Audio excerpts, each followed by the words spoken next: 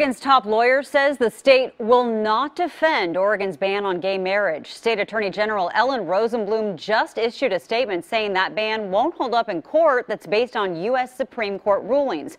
We sent Lisa Balick to get answers on the impact of this announcement. Lisa?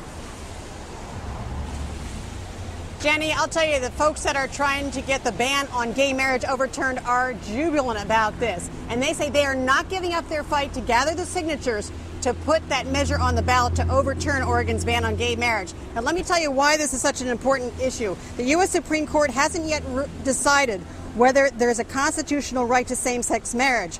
But the reason the Governor Kitzhaber and the Attorney General are not going to defend Oregon's ban in court is that the U.S. court ruling last summer said that same sex couples are entitled to equal treatment.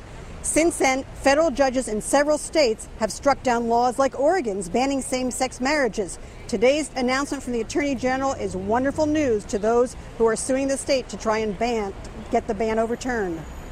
Our now adult children uh, who we had together are also celebrating with us that our our um, gosh that our family will be acknowledged in, in by our state and it, it's incredibly meaningful to us.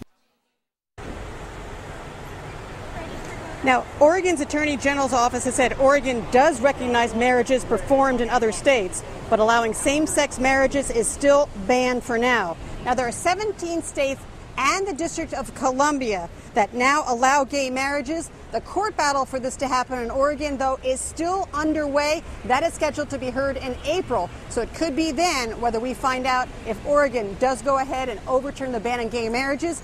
If not, it's something that will likely be on the ballot for voters. Live in downtown Portland, Lisa Balick, KOIN 6 News.